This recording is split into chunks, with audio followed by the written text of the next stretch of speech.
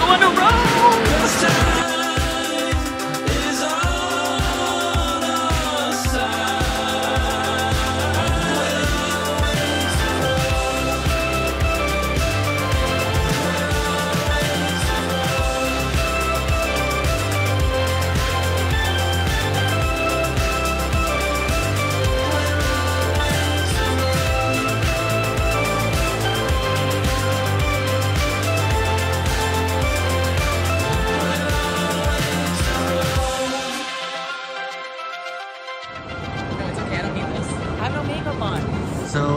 Tell me what I should do before we're on this next flight.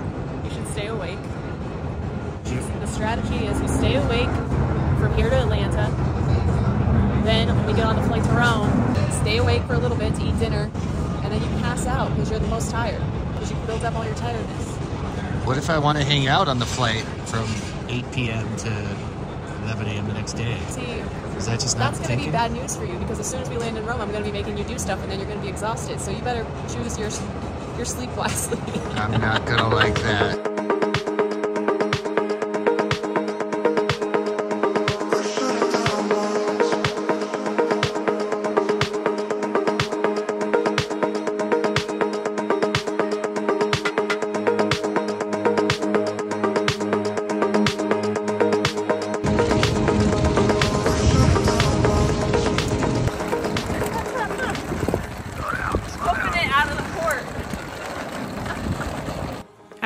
Rome, we had to qu- take a quick detour to Civitavecchia, the port of Rome, to check into our cruise that we will be leaving on in a couple days. Threw some things into an overnight bag, got to the train station, and set out to Rome. Finally.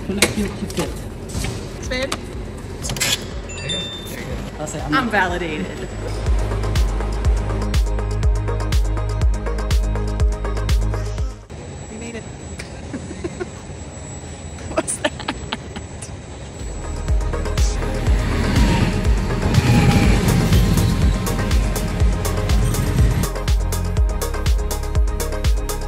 Navigating uh, public transportation in other countries is always a little bit of an adventure. Made it from the train. Now we're waiting for a bus. The whole, it's a whole odyssey.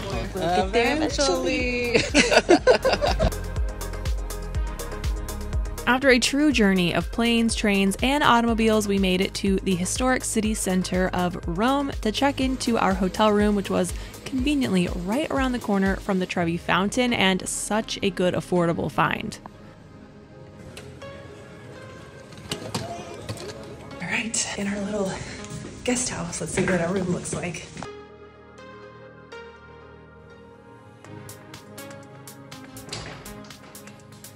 It's a self check in situation, apparently. Okay. we made it to Rome. That was a commitment. Very small little room, but very high ceilings. Très chic. Love.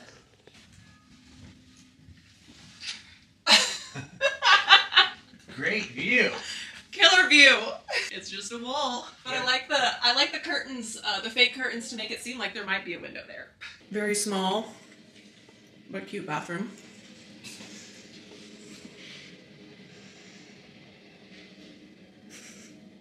We made it successfully from Los Angeles to the port of Città. Ve- Uh, I cannot pronounce the port here, but made it there. Checked in on our cruise ship. However, we are not leaving for another uh, day. So the port in Rome, or this word right here, which I have yet to be able to pronounce, um, is pretty far away from Rome. So to really get the most out of our time here, we decided to get a room for the night right around the corner from the Trevi Fountain so that we can see more of the city and not have to like schlep back and forth on the train and the buses and all that. So it's Palazzetto Trevi. It's pretty cute. And uh, we're just gonna drop off our bags and try to enjoy our little bit less than 24 hours that we have here in Rome. It's my third time here, so I'm gonna try to find some fun things to do that want to see my three days in Rome guide. I will put a link to that in the description box. Um, we covered like all the, the normal bases and then some other fun, interesting things. So check that one out after this video. Let's go out and check out Rome at Christmas time. Our first order of business, go out and get a spritz and get our bearings. P.S. If you can ever visit Rome during Christmas time, definitely do it. They make it so festive. They really do it up with all the decor.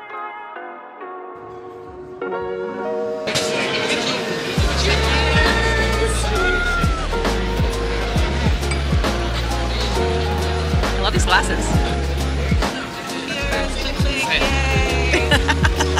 I forgot to mention that we are here on this trip. The infamous, the beautiful Aisha. so it's like a Me. and and Nate. So We happen to be here. so we're just yeah, it's like a babes that wander trip minus three girls plus a husband. At this point, it's just an Aisha and Jess trip. We've been on way too many trips together. We have now become a new segment of the Babes That Wander. Next order of business, dinner at one of our old faves. We did have to wait for a little bit, but it's always worth it.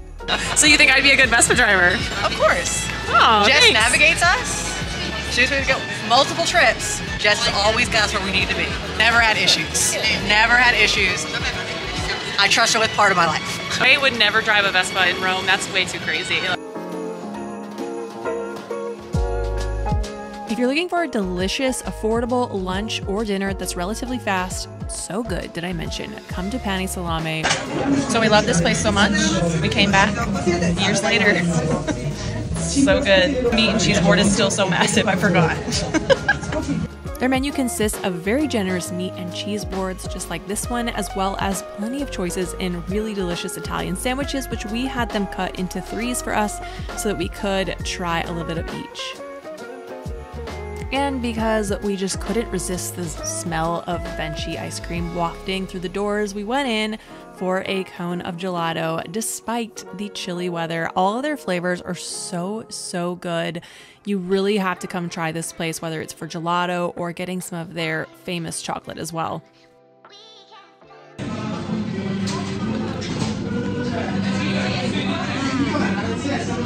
I'm eating my hair. Merry Christmas, everybody. All night, I've been making fun of all these people walking by with gelato and it's cold. It's so good. But you know what? I'm one of those people now. It's worth it.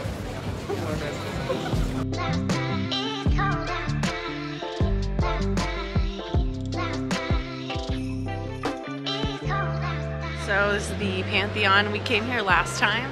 One of my favorite little places to come see in Rome. It's closed right now, of course, because it's nighttime, but it's really pretty to see lit up at night.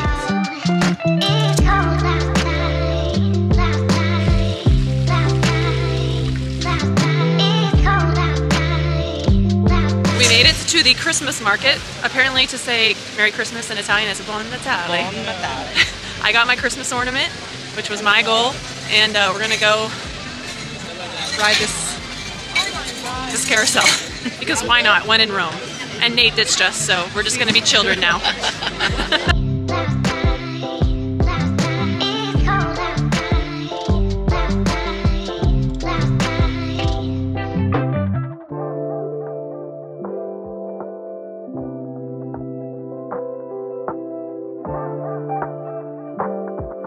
The last time you rode a carousel, though? Um, I mean, you have a child, so a child, so you're it's just recently. a little more recent than, than should me. Did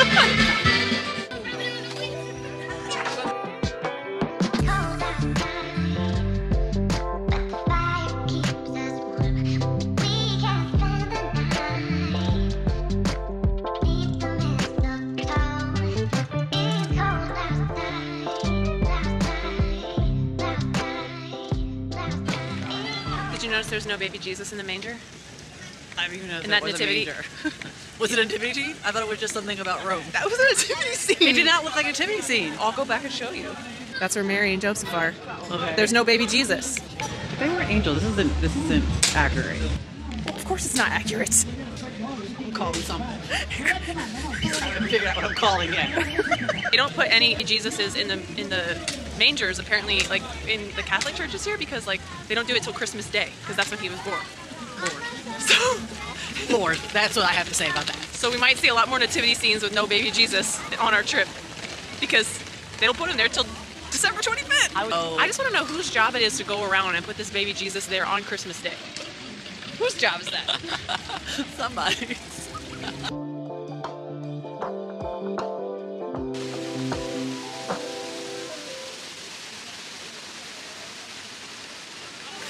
It is 10:30 at night, and it's still this busy here. It's pretty crazy.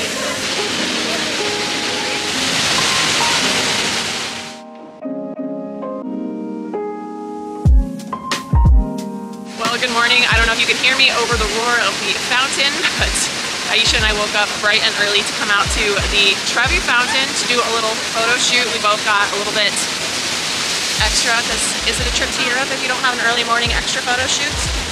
I don't think so. If you want to come to the Trevi Fountain and have basically no one in your photo, here's the thing. Just like I said in my last Rome video, we went to Spanish Steps. You have to wake up at the crack of dawn and you have to get there before sunrise. We're talking 7 a.m. It's now 7.35 and it's still actually not too bad out here, but we got here right at 7 and there was a little bit less people. Um, so we were able to get some epic shots. So yeah, you gotta sacrifice a little bit of Z's. But if you do it the first morning of your trip, most likely you're still a little bit jet lagged. I definitely was, so it makes it a little bit easier to wake up. And now we're awake and we're ready to get the rest of our day here in Rome started.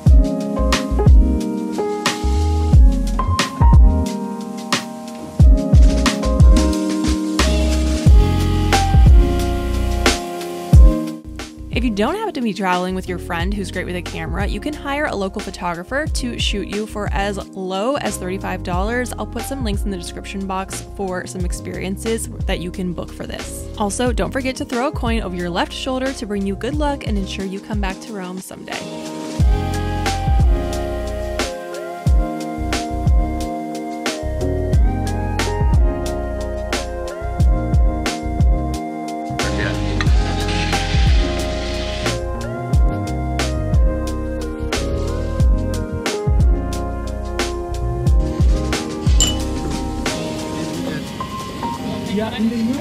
Having breakfast at this little cafe that's right across the way from the Trevi Fountain, and apparently we came at just the right time because they just cleared everybody out of there.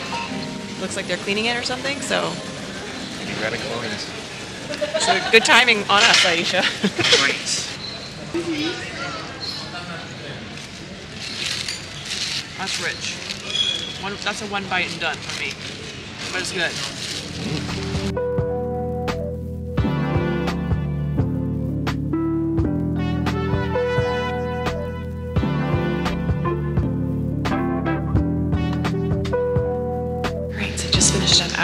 Breakfast and we got here just in time for the opening of the Galleria de Pamphili. I think I'm saying that right.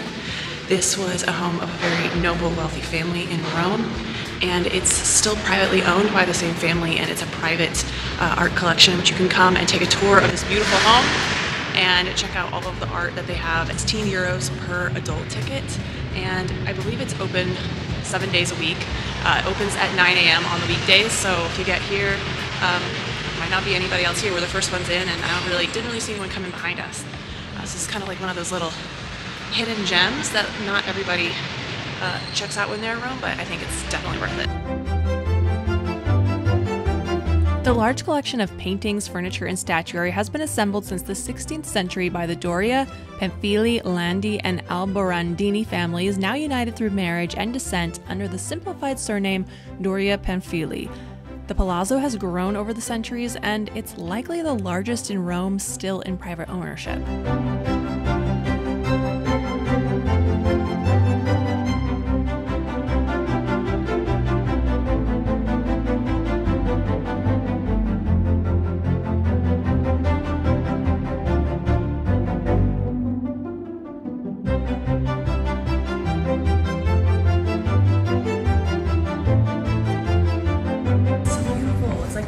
Mini Hall of Mirrors in Versailles, kind of. And there's literally nobody here. This is so stunning.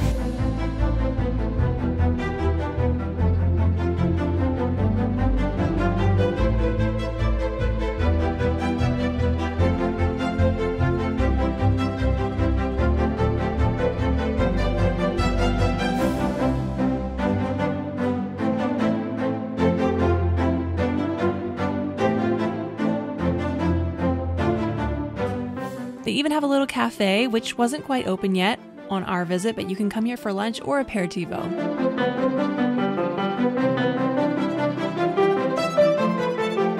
Well, we're in the area, so thought we'd pop into the Pantheon. There's no line. Last time we came here, it was in the summertime, and there was quite a bit of a line, but it did move pretty fast. But no line is better than line. So perks of going in the wintertime. You can purchase your tickets to enter at these new kiosks, or you can buy them online via the QR codes they provide. The Pantheon is definitely a sight that you have to see when you're in Rome. It's built 2,000 years ago, and it's still the world's largest unreinforced concrete dome. The dome is a perfect hemisphere, and you could be able to fit a sphere inside the structure with a diameter of 44.4 meters, which would touch the ceiling, floor, and walls. The building is perfect, and thus its construction is a bit of a mystery.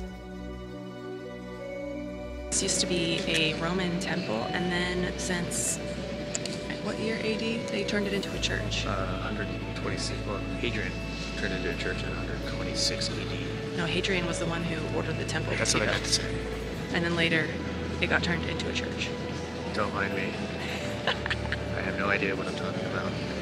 They have a little nativity scene up here for Christmas, but as per usual, there's no baby Jesus in it yet because, like we discussed last night, they don't do that until Christmas Day. You're in here, if you're around like the more peripheral of the room, you'll notice that the floor like slopes downward, and it's because there's a hole in the ceiling. And when they built the temple, they did that on purpose so that when it rained, the water would kind of run out of the room. Pretty cool. The Sardinian king who united all the sub kingdoms of Italy is also buried here along with the painter Raphael.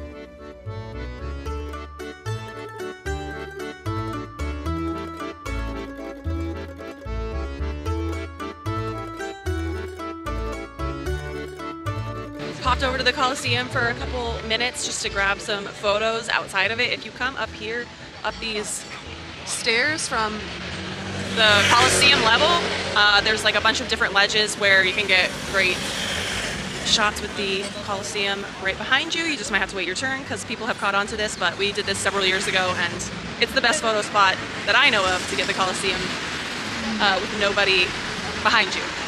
The line actually doesn't look too bad today for the Coliseum, but when we came in the summertime, it was absolute insanity. But I would recommend, no matter what, to get a skip the line ticket in advance, um, so that you don't have to wait in line or risk waiting in line. Um, I'll put a one a link to one in the description box that we used last time, which was awesome. It also included a ticket to the Roy- Roman Forum that you got to go and walk through after you walk through the Coliseum. So whenever possible in Rome, skip the line. That's my number one tip. After you check out the Coliseum, it's a super easy walk over to the Roman Forum. While you do need a ticket to go into the Roman Forum and Palatine Hill, you can get a glimpse of them from above on the street. And this is just all we really had time for today, but definitely check this out if you're in a time crunch like we are.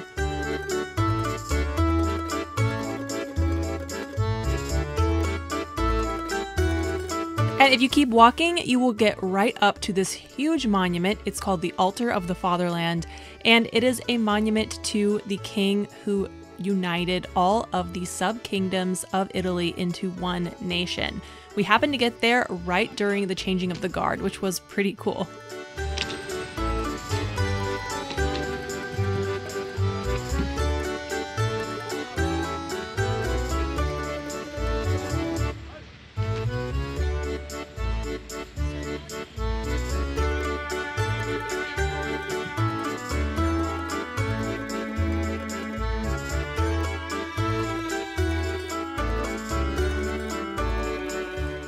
Cannot beat the views of the city of Rome from up here, and it is free to enter, which is really cool. I also just think the architecture and the sheer size of this monument is something incredible to take in, and it's awesome to do it up close.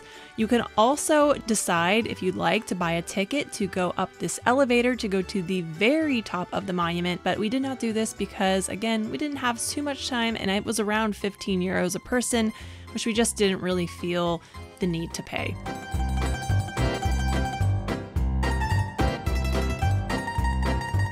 Our time in Rome was running out, so we decided to head back to the area where our hotel was because our bags needed to be picked up, and we definitely were hungry and in need of some delicious Roman fare before we set off on our next destination on our Windstar cruise. I get that this video has been very Trevi Fountain heavy, and it's always pretty busy here, but if you want to see it from above, you can actually come up to the Trevi Rooftop Bar, which is just down the corner from the fountain. You can see the position there, and you can grab some drinks and some food up here. It is a little pricey, so we decided to go down to this little bar, which was literally next door to the stairs to the rooftop bar, and this place was amazing. We got some aperitivo, the staff was so friendly, and we ordered some food and some Aperol spritzes, and they didn't charge us for the food. I don't know if that's a normal thing here or if this is like the aperitivo thing, but this is definitely the best aperitivo food I've ever had in any of my travels in Italy.